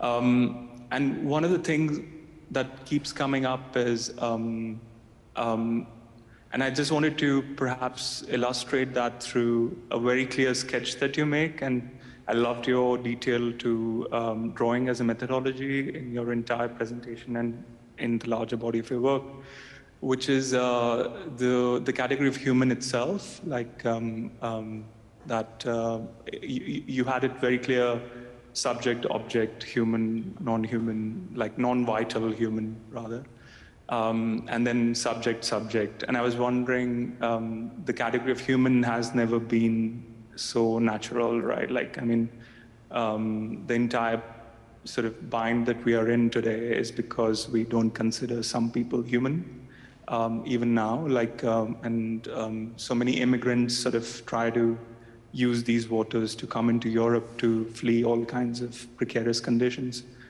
And uh, when we reflect about rights of nature, we don't think about um, these non humans or the people we sort of banish as non humans. Um, so I was wondering if, if perhaps there's a third sketch needed there to, to also qualify um, the difference in, in human as well as a category.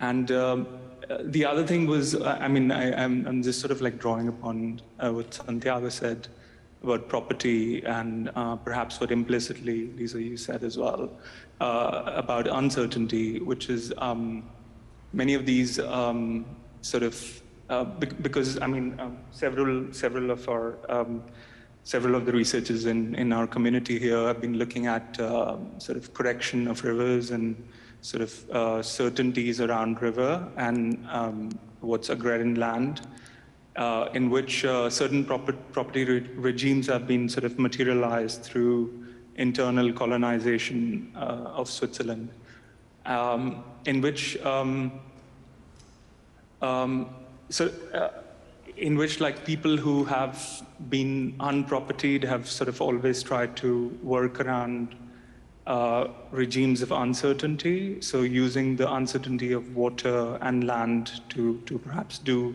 agriculture in, in the time in the dry season or uh, to use the floodplain for some other kind of thing. So uh, I was I was wondering like um, because we always cast um, our lens of modernity versus indigenous so far away.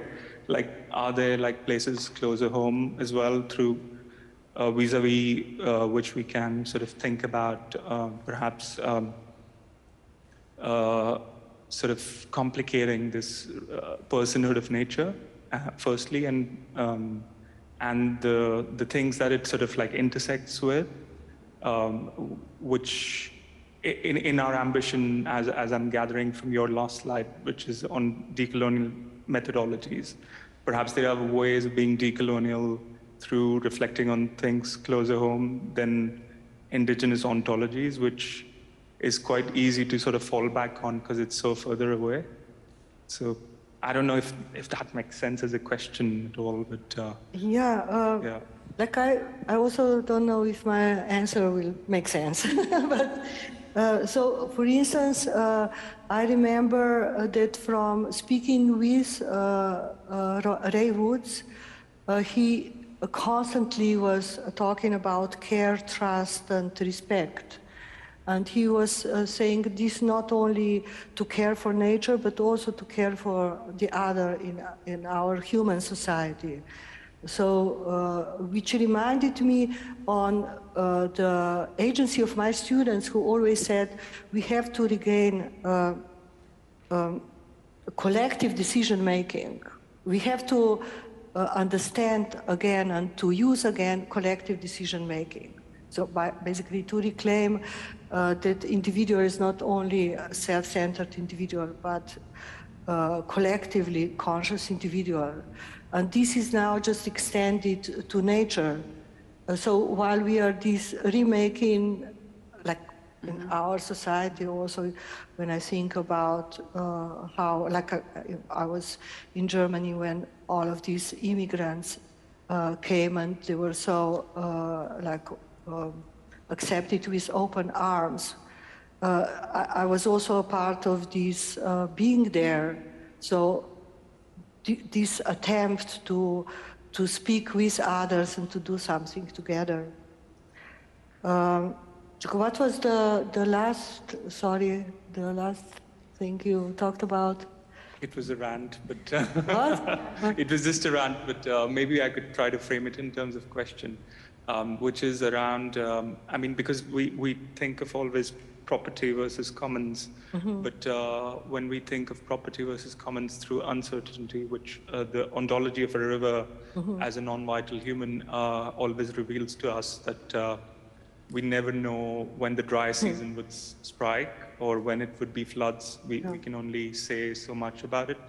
And how the unpropertied have always sort of, you know, relied upon those uncertainties to create something that's not commons, but it's not also Yeah. property. So perhaps like how, how does um, the, the constitutional um, rights that are very much around property and commons uh, um, think about uncertainty as well? Yeah, the commons actually are not, we cannot reclaim the commons before uh, they were uh, put outside by the change of law in, I think in the, I don't know, was it in 18th century? So we cannot go back to the understanding of the commons. Yeah. Huh? Yeah. But it's evidently, uh, the commons are coming back, but in a different uh, dress, if I can say so, in a different uh, understanding. So I'm also trying to figure out, uh, it's always a danger when you talk about the commons, people want to shift back to this understanding of the commons uh, before industrialization. Okay, the industrialization terminated the commons in uh, UK, which was the most famous uh, case. Uh, uh, but for me, it's very interesting that I'm talking a lot about indigenous people and then also understanding that in my own country there was some kind of indigenous reality when I was a teenager. So basically, this is uh, like a, a hope to connect over generations, but also uh, to be able to think of, of a better future for us, which would align with nature, I believe, and less with the politics. But at the same time, we we talked about importance of the state and also the dele- delegation we have to to, in the state, in the pro- political process. So I think that it's important to work on, let's say, political actions, but also on, on symbolic uh, projects.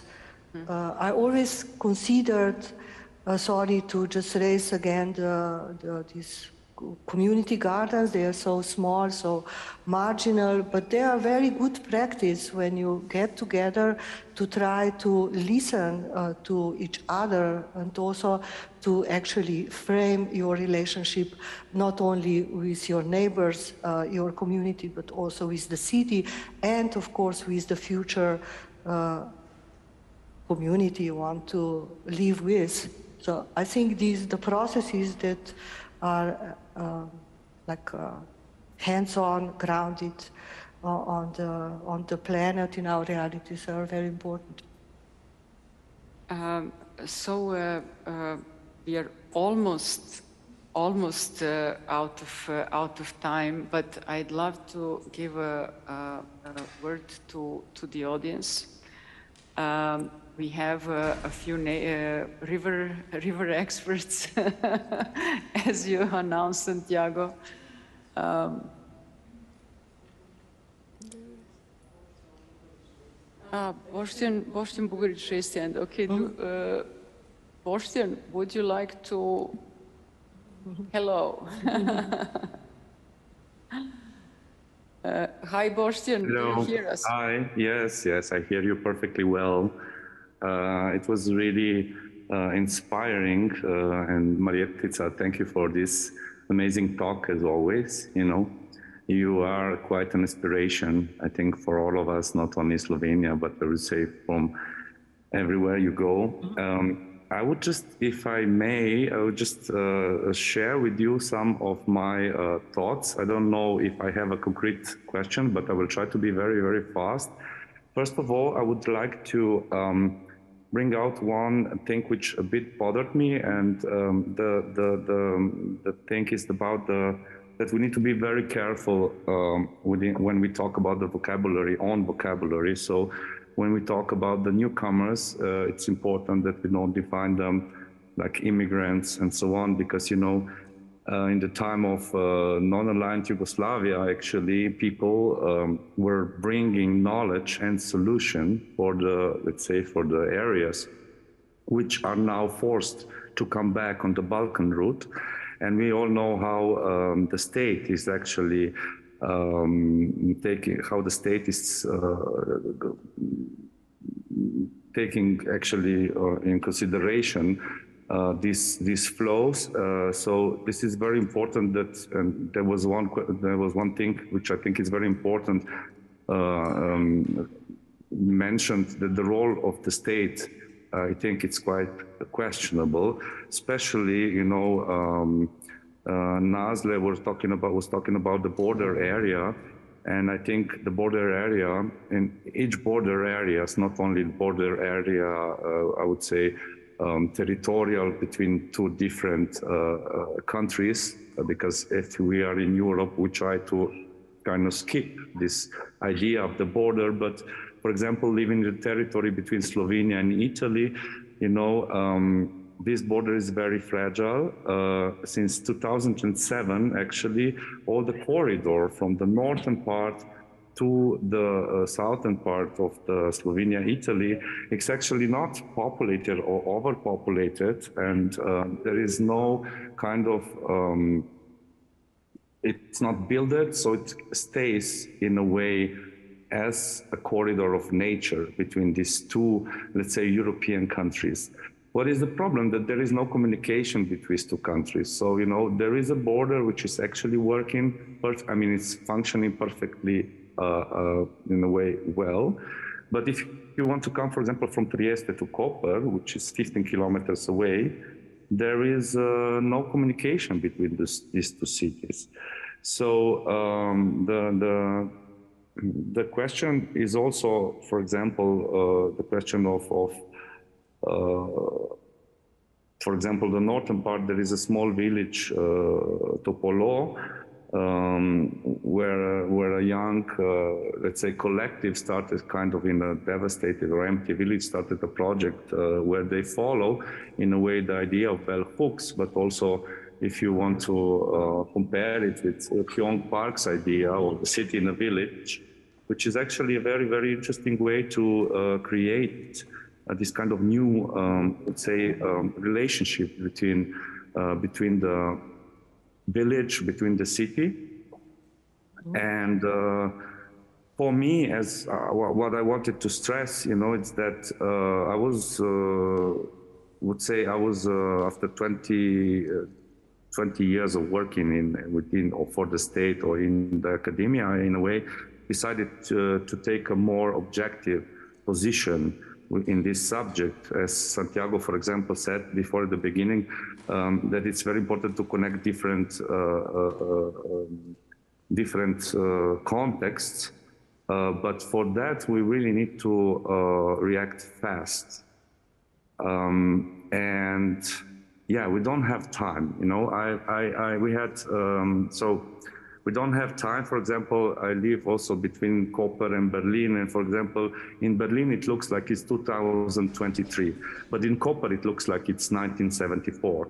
So there is a lot of uh, you know. Uh, sexism, nationalism, misogyny, homophobia, and naturally, as, as so, such, it's not treated as an important subject. So, you know, all these things are like coming before of, of, of nature and of this understanding how important is today for us to survive, to understand how to, how to change and switch the, the, the, the uh, position towards the nature.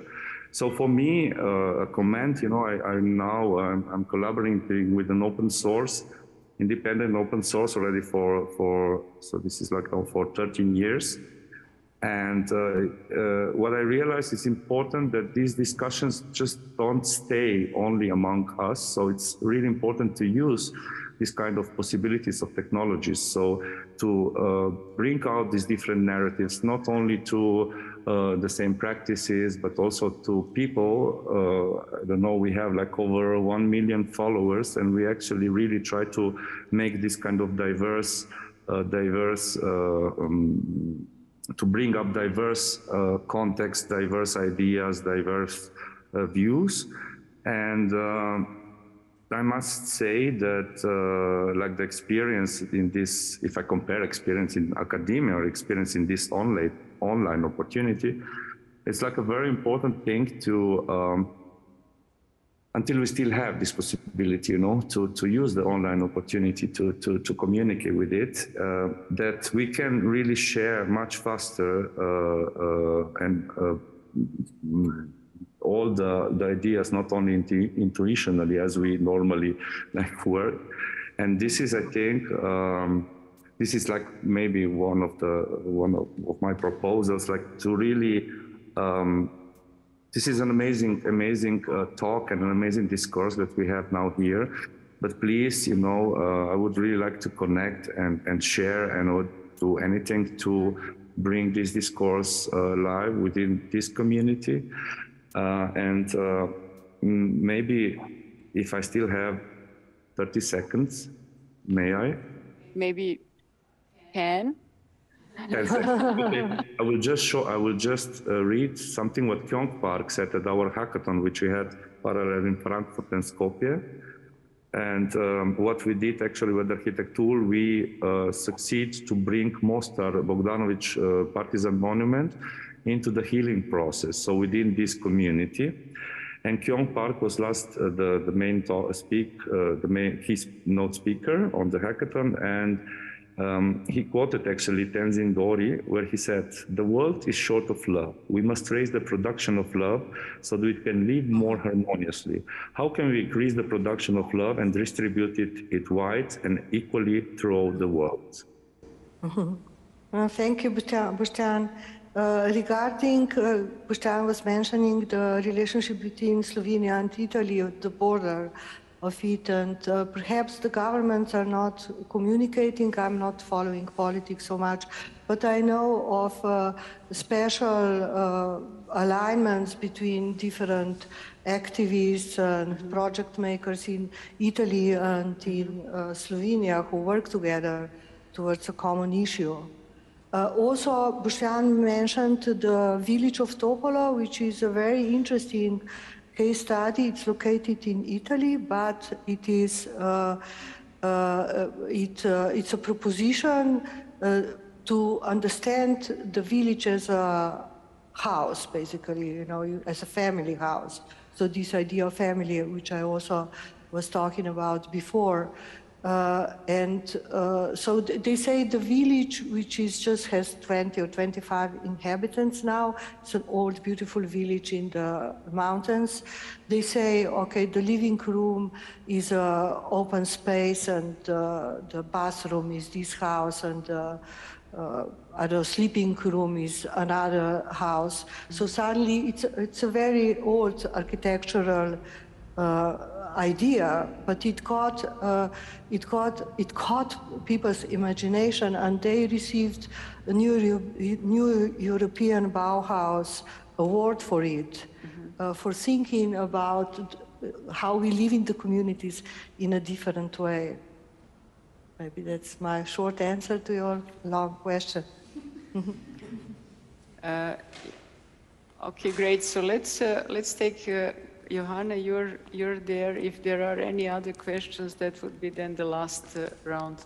Yeah, thank you. Thank you so much also for the nice lecture. I have a quite short question. Um, I'm, I'm working on the Rhine, and uh, in this context, I look a lot at the work of Dilip da Cunha. I mean, he, he writes a lot on uh, also on the Indian context, but he brings, uh, so when he talks about rivers, he brings in the notion of wetness. And also tries to completely uh, question the concept of the river as essentially something that is constructed by humans, as something that is uh, somehow uh, only exists once we draw it on a map and once we define the boundaries of a river and once we um, decide to focus uh, on the hydrological cycle uh, in the moment of flow and not of evaporation and, and so on and of rain. And I'm wondering, so also I, am constantly thinking about these questions of like, do we need a different word to describe what we're seeing? And like, how do we define the boundaries between land and water? And is talking about the river uh, as an object, like, or can we, do we have to talk about something else? So I wonder what you, what you think about that. And if you have, do we need a different way to describe this being or this entity that, that, that we talk, that we call river. Uh, um, maybe you can help me with answer, but I think, uh, like, I, am not sure if I uh, got the complete essence of your questions, question, but uh, I think it's, uh, uh, the, actually it's, it's interesting to think about the river as an object because you can sell it and as we know, it's a practice uh, in the world today that, for instance, you you buy an uh, an island, or maybe you can buy a lake and a river as well, no, mm-hmm. uh, and extract from it. So then there are more uh, extractivist owners, and then more sharing owners, and so on. So. Uh, the, the living, uh, the river is a living being is, is actually, it's completely a new concept for our society. But as I wanted to talk uh, before, it is a very living and uh, practice in the indigenous communities. And uh, in caretakers like uh, Ray Woods, uh, he's very clear about this when you read his uh, like appearance in the New South Wales Parliament when he talks about the rivers. He talks clearly about what is a, a living being, a river as a living being. If you want to, I can share the document with you. So maybe I missed some, or um, yeah. I'm, uh, I'm also not, I, I think it's, uh, it's this sort of a more, uh, more uh, broader understanding of, of a kind of hydrological cycle, right? So that, that yeah. the river is, is sort of one, one kind of perhaps yeah. you could say materialization of, uh, of uh, you know, of the world of water, right? Where, yeah. Which, which, uh, which, you know, surrounds yeah. us or percolates through, through the yeah. kind of entire environment, including our own bodies and so on. So, so why is river something different, right? So this kind of a very holistic uh, picture, right? Yeah. And uh, uh, so, um, um what is your answer? uh, well, I don't, I don't have an answer, but I think it's, for me, it just opens up to think about it in a different way. So for me, the, this notion of wetness opened up to think about, uh, you know, uh, trying to understand where the boundaries were drawn at a certain moment, and that maybe, especially in the context of, of climate change and flood control, these boundaries are, are also constantly reconsidered. And, and now we are also in, in this context in Europe are questioned to to look again at the maps and look again of where, where we drew once the boundaries and we, we see the conflicts that this created. And I think in that sense, uh, the river is, is not that defined maybe anymore, even in a non-monsoon based environment. And, and, for me, this was quite an interesting observation. Mm. But I, I don't have an answer to this. It's also interesting, you know, like what Ray Woods is also saying that uh, the river is not only the river, it's alive uh, around the river. So it's uh, not only in the river, but around the river. So you, as a person who lives by the river, you're also part of the ecosystem of the river. Um, there was something else I wanted to say. Um, it just went out. I have something which is the very last thing for, for, for the event because I'm just simply dying to, to ask you this. Uh, so it concerns your wall drawings, right? So this, uh, uh, you have been drawing for many years, right? And mm -hmm. then I, I, some shows I have seen there were, there were kind of smaller images, right? And you were, you were documenting these, these processes of social um, participatory processes, social actions, these, uh, these, these ritualistic actions that you created and so on. And you documented somehow these learnings, right? And you, so you have been somehow sharpening this or, or developing this, this form of expression for a very long time, no? Mm -hmm.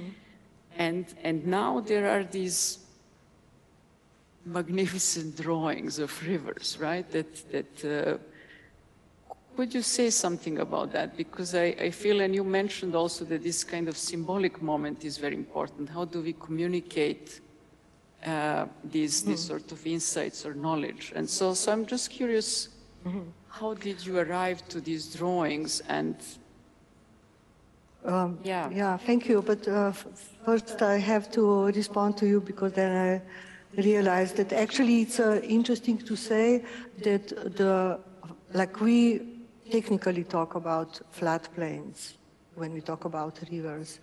But when you listen to Ray Woods, he talks about floods as something very essential and normal. And this is, we have, we have like in this, the project of the great repair, there is also to think differently about something which is considered dangerous as flooding.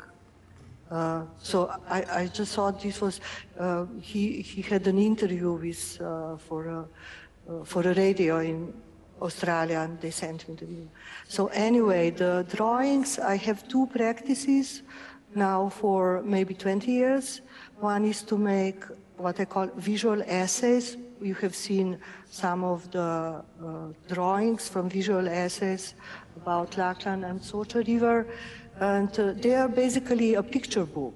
They tell a story about something that I think is uh, I can share with people because you don't make art just for yourself. You, you want to share it with others. As a writer, you don't put the manuscript in your uh, drawer, you, you publish a book. And uh, the, the diagrams that you refer to that are uh, becoming wall drawings, I work on these for many years, but maybe I don't advertise it so much, but they have been shown everywhere.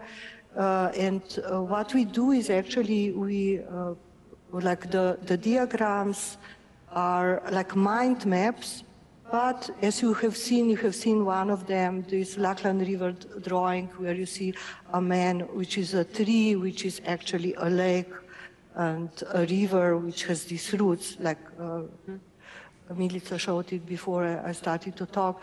Uh, it's very important for me, like you have been to probably Documenta 15, and you have seen tons of mind maps, and then you just get lost and you get tired. So I always want to introduce an image that leads you into the, let's say, political or ethical question. So I'm always very particular. There is this uh, symbolic image that actually uh, allows you to enter uh, the ethical or political topic. Um, well, thank you very much. Um, and uh, I think it, uh, it uh, I, I feel like uh, you, you have left, left us with this mind map because there were, you know, we went along all these different branches and, and opened all the different questions that, you know, we, we uh, yeah, we have to continue to work on. That's all I can say. So thank you so much for that. I, I really admire your clarity, you know. This is something that, that really stays with me from your work, right? So thank you for that. No, thank you. Yeah. Thanks, everyone. Um, thank you, uh, friends on Zoom. Uh, Anna, Santiago, thank you, Boštjan, uh, everyone in the audience. Thank you, everyone in the honor. Um, great pleasure to have you with us. Thank you. See you on the 22nd for the last for the last session uh, about self-repair of a broken discipline uh, with Charlotte Malterre-Barthes, uh, uh, Maria Cohen, and Mio Tsuneyama. Thanks a lot. Thank you.